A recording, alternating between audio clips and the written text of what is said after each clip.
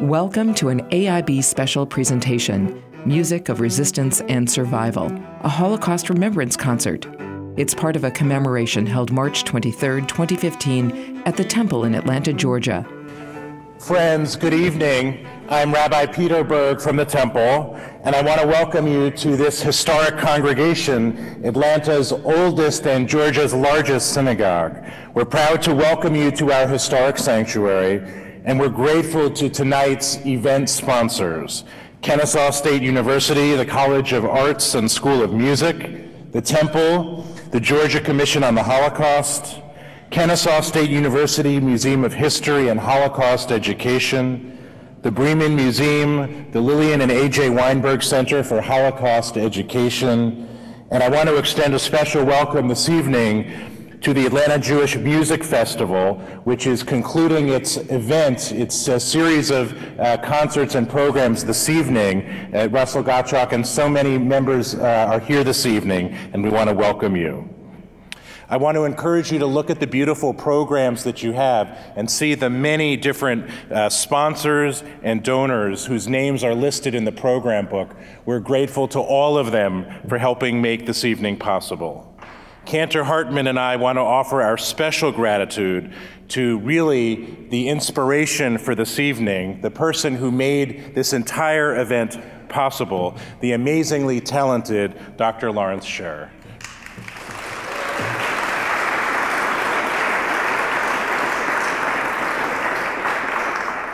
Tonight is a very special night for our community as we share the music of resistance and of survival.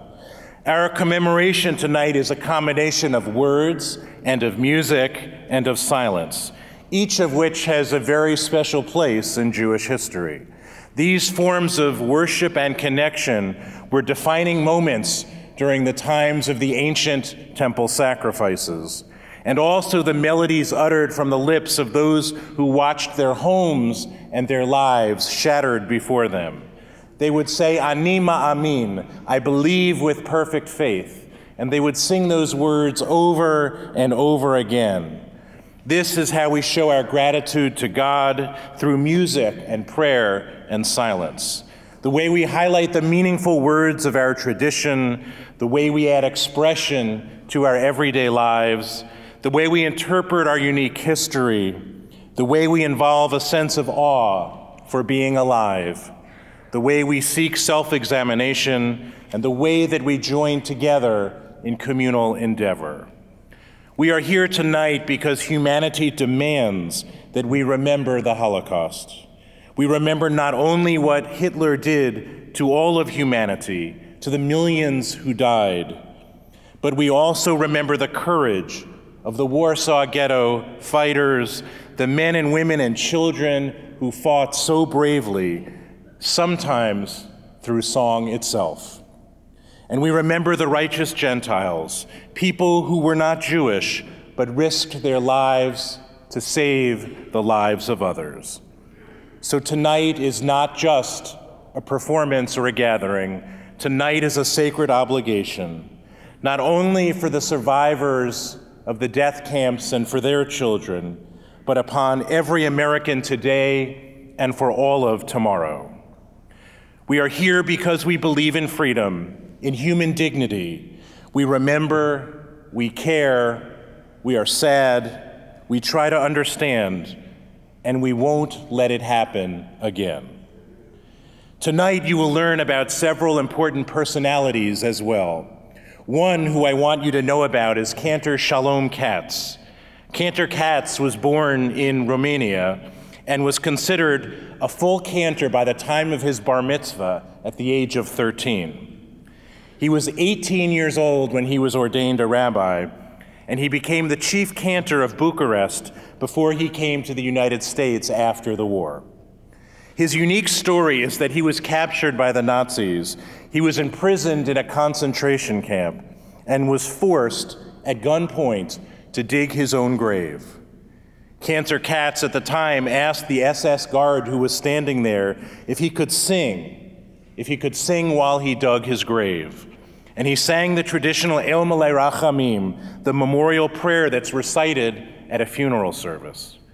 The guard was so moved that he allowed Katz to escape.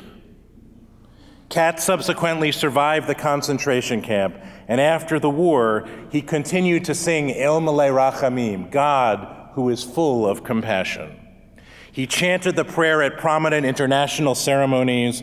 He added new texts that describe the suffering that took place during the time of the Holocaust. And he even named several of the concentration camps in the piece. His singing and his story were so compelling that Dr. Sherr transcribed several essential excerpts from one of the El Malay Rachamim recordings, and that can be found in the second movement of the cello sonata. Tonight, you will hear stories like the story of Cantor Katz, extraordinary stories accompanied by magnificent music. It will tell the story of resistance and the story of survival. And tonight, those stories will become your stories.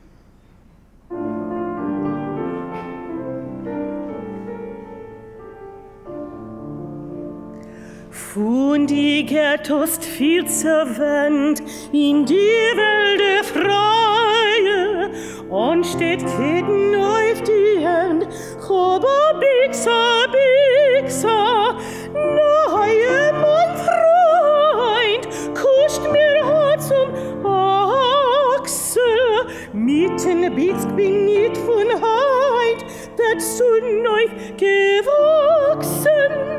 Mitten Bitsk bin nicht von Heint, fest zu neu gewachsen.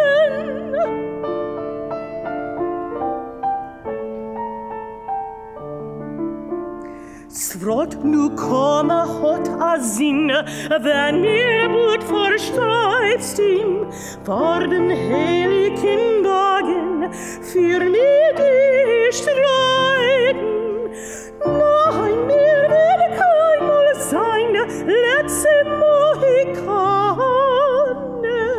Springt er nach die Sonnenschein, der jed der Partisane. Sprangt die Nacht die Sonnenschein, der jed die Partisane.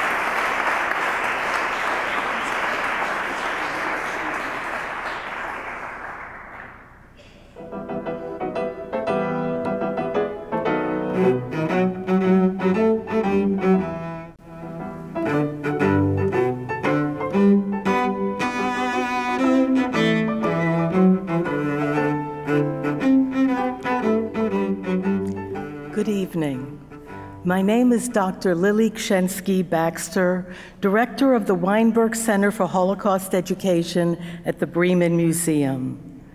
The songs created and sung in the ghettos, camps, underground bunkers, and forest hideouts of the Holocaust gave voice to the shared sadness and grief, as well as defiance and hope of the Jewish people of Europe. Sung mainly in Yiddish, the language of Eastern European Jews, but also in the languages of the countries where Jews had lived for centuries, these songs concerned every aspect of life. They were lullabies and children's songs, songs of love and unbearable loss, songs of heroism and incredible overcoming. When spirits sank, songs took over. The songs that open this program were written by three remarkable singer composers as courageous as they were talented. Ilse Weber, the composer of Wiegala, in English lullaby, was a Czech singer and poet. She was also a well known children's radio entertainer and writer of children's books.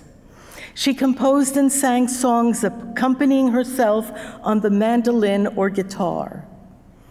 In 1942, Ilse Weber was sent, along with her husband and son Tommy, to Theresienstadt concentration camp in Czechoslovakia. She worked as a night nurse in the children's infirmary, doing everything she could for the young patients without the aid of medicine, which was forgiven, forbidden to Jewish prisoners. At night, when all was still, her lovely voice would rise up in the darkness and sing about home and hearth, love and yearning. Weber wrote about 60 poems during her imprisonment and set many of them to music.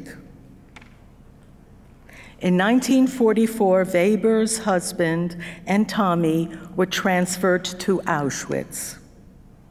Ilse volunteered to join them, hoping to keep her family together.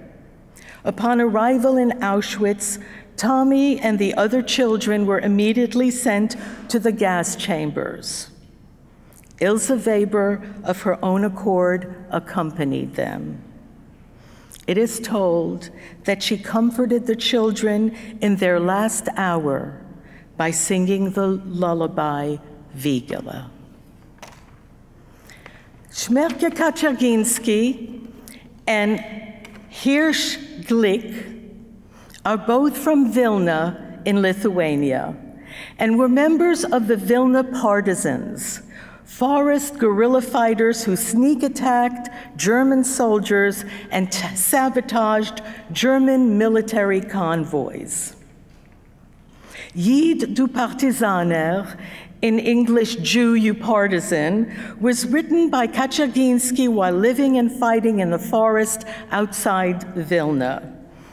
It is a rousing, animating song that praises the freedom of the forest against the stifling imprisonment of the ghetto.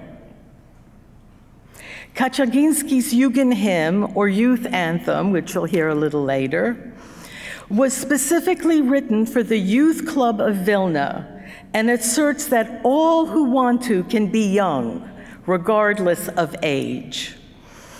It is a song I know well, having sung it hundreds of times at a camp called Camp Hemshech, a camp in the New York mountains created for their American children by Holocaust survivors, many of whom had been resistance fighters. They wanted us to have the same spirit and daring in the new world that they had had in the old one. Hemshech in Hebrew means continuation. Kaczerginski's repertoire was incredibly varied and included not only battle hymns, but also theater melodies, tangos, love songs, and lamentations. After the war, he established a Jewish museum in Vilna where he rescued and stored Jewish books, art, and cultural artifacts. In 1947, he edited the first anthology of Jewish songs published after the war, called Unser Gesang, Our Song. He devoted the rest of his life to collecting Holocaust survivor testimonies and documenting and publishing Holocaust songs. In 1954, he was killed in an airplane crash in Argentina after returning from another lecture. When the news of the Warsaw Ghetto Uprising of April 1943 reached the Vilna Ghetto, Hirsch Glick, a young poet and resistance fighter of 22, was greatly inspired. Set to a melody by Russian Jewish composer Dmitri Pokras, Zog Nit Keyn Mol translated as never say, became what we would call today an instant hit. A song of defiance, vision, and hope, it quickly spread from ghetto to ghetto and from camp to camp. People sang it in attics and in cellars. They hummed it in the presence of German guards when on slave labor details. They repeated its refrain, Mir seinen da, as password to underground hideouts. Mir seinen da, we are here, defied Hitler's master plan of a world without Jews. Its imagistic power and unyielding hope served as powerful inspiration for a world with a strong Jewish presence. Just listen to a word, a verse. From green palm lands to distant lands of snow, we are advancing with our pain and our woe. But where a spurt of our blood, blood has fallen on the earth, there our courage and strength will have rebirth. Also known as the partisan hymn, Zog Nit Keyn Mol became the official anthem of the Holocaust and is sung today at Holocaust remembrance programs around the world, including our own Atlanta commemoration. You can say that what we shall overcome was to the civil rights movement, Zog Nit Keyn Mol was to Jewish resistance during the Holocaust. As we continue with the program, listen to Kaczerginski's Yid du Partisaner at the beginning of Laurence Sherr's cello sonata. Listen to Ilse Weber's Wiegala at the end of the second movement, and Zog Nit Keyn Mol in the third movement. Singing is a communal experience. Singing together gives a people companionship and strength, sources of comfort and hope, of patience, defiance, and sorrow. These songs make clear one overriding message that despite it all, the Jewish people prevail. Um, Am Yisrael Chai.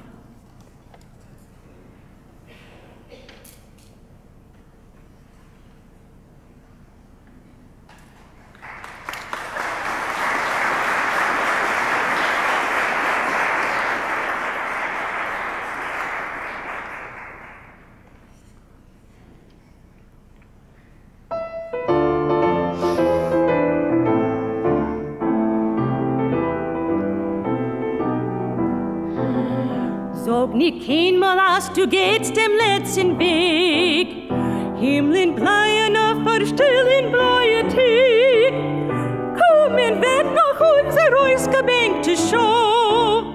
Sveta beugt in unser Trat mir seinen Do. Kommen wir nach unser ausgebänkte Show.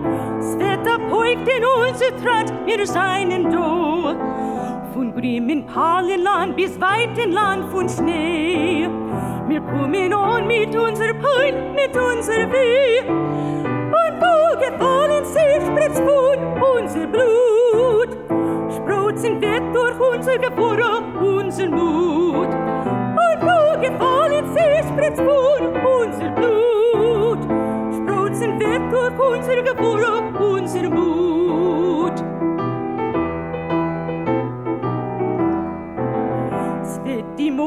Morgensohn begilden uns dem Heind. Und der Nektin wird verschwinden mit dem Feind. Nur versammelt wird die Sonne und der Kajor. Wie a Parol, so geht Lied vom Dor zu Dor. Nur versammelt wird die Sonne und der Kajor. Wie a Parol, so das Lied von Dor zu Dor.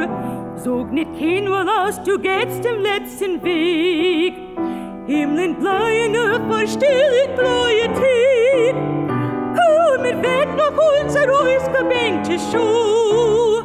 Svete Poik, den unser Tratt mir seinen Do. Komm, wir werden auf unser ausgebenkte Schuh.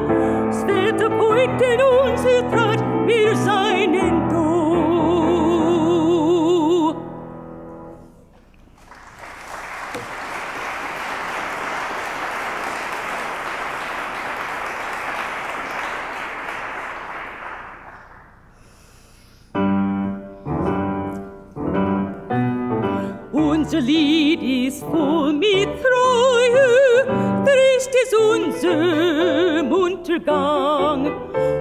Der Säune wacht beim Teue, Sturm Jungen mit Gesang. Jung ist jeder, jeder, jeder will es will nur, Joren haben kein Parteit. Alte kennen, kennen, kennen euch seine Kinder von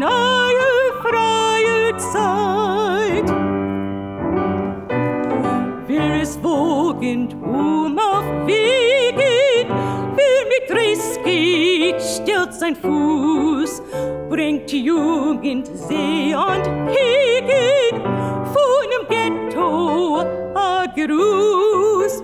Jung ist jeder, jeder, jeder, wer es will nur, Joren haben kein Parteit. Alte kennen, kennen, kennen euch seine Kinder von einer neuen, freien Zeit. Und auf die Stuhl in mir die Reh. Der Bäuer, der Schmiede, Blumen alle gehen mit See. Jung ist jeder, jeder, jeder, wer es will nur, Joren haben keine Parteit. Alte kennen, kennen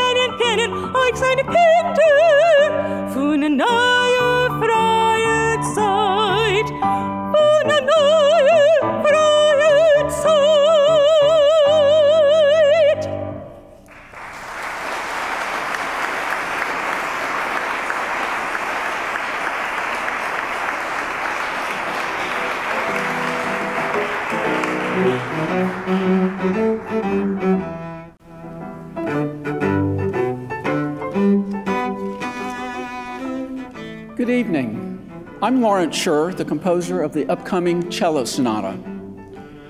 We are gathered tonight to remember the past in order to inform the present.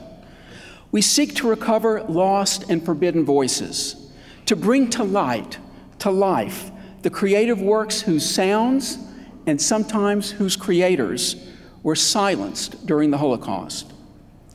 The four songs we have just heard along with the prayer that Rabbi Berg described, are the historical sources I chose to integrate with the new music I wrote for my sonata.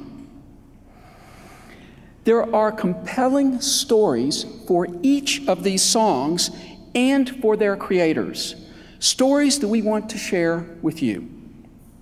Our musical selections, speakers, program notes, and lyrics help us all to learn about the lives, music, and contributions of these artistic heroes of the Holocaust.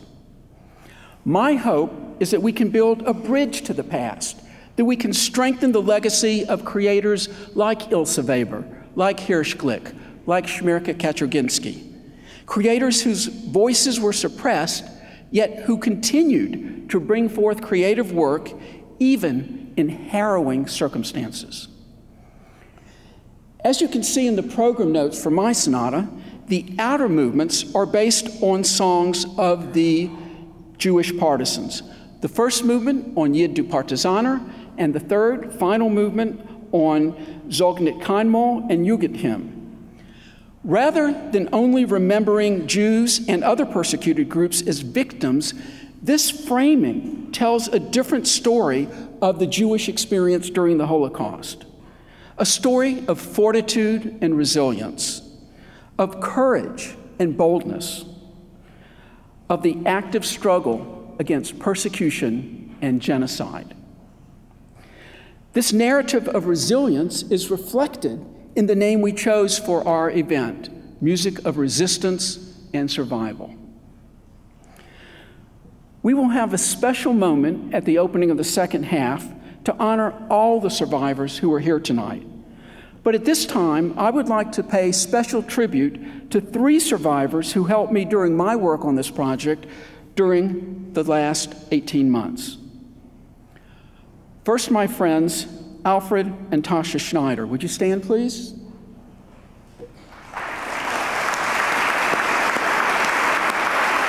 Stay standing.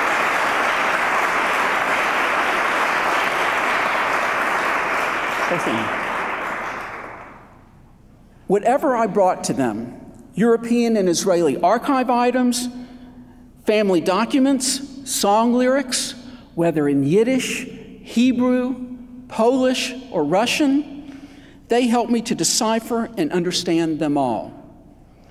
And Anne Klug, will you also stand, please, for a moment?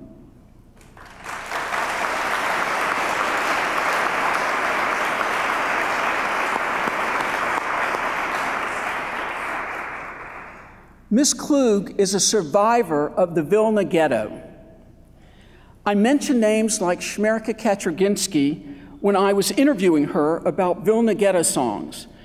And when I mentioned Hirsch Glick, who penned Zog nit she responded, Oh, him I knew. I knew his sister. And she started to tell me stories about his family and the Vilna Ghetto.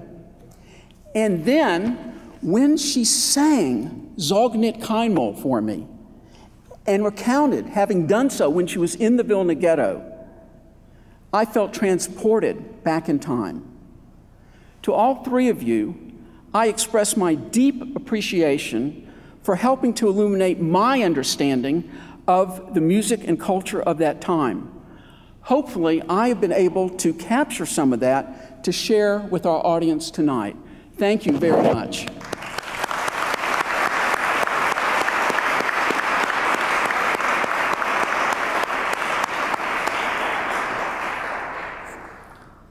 I would now like to welcome Charae Krueger and Robert Henry to join us to briefly illustrate one passage in my sonata. Will you please welcome them?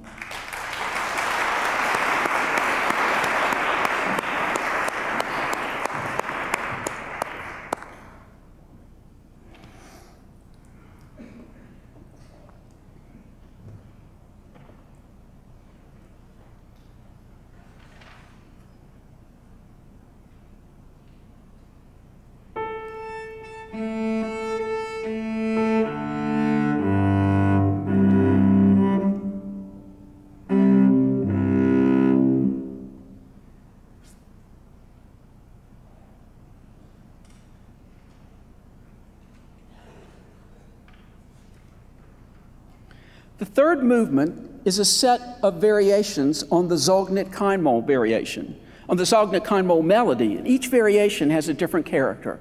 The first is lyrical, the second is a march, the third is dramatic, the fourth is expressive, the fifth is atmospheric, the sixth is titled Yiddish Dance, And the seventh, like the third, is dramatic. In the final variation, the eighth variation, the theme returns and is followed by a whirlwind tour of the whole movement as brief snippets of each variation appear to lead to the end. We would like to demonstrate what happens at the beginning of this last variation, where two of the Holocaust songs we have heard are layered on top of each other. We'd like you to be aware of that when it happens in the beginning of the third movement. Both players start with the Zog Nit Keyn Mol melody, and the piano continues it.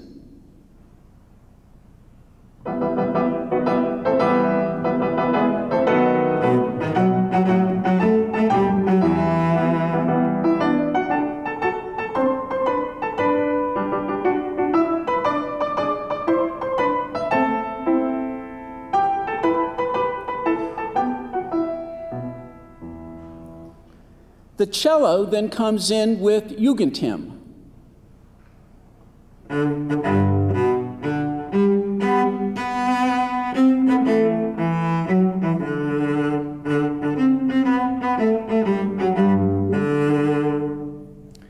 This is what the two songs sound like when they are combined.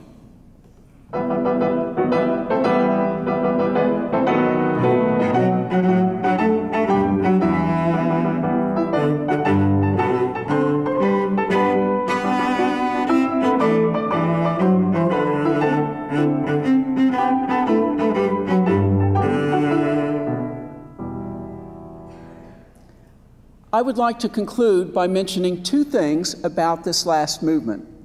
First, there may be some slight pauses between some of the variations. We ask that you hold your applause to the end. Second, we know that Vilna partisans, like Kaczerginski, were involved in educational efforts at the Vilna Youth Club. This morning, we presented an abridged version of this concert to over 100 students and teachers here in the sanctuary and to others watching online. Like the Vilna partisans, we realized that it is essential to include the next generation if we are to address prejudice, intolerance, and hate in our time. It is our youth who can carry these stories of resistance and survival to those who come after us and who can help us strive for a better world. Thank you very much.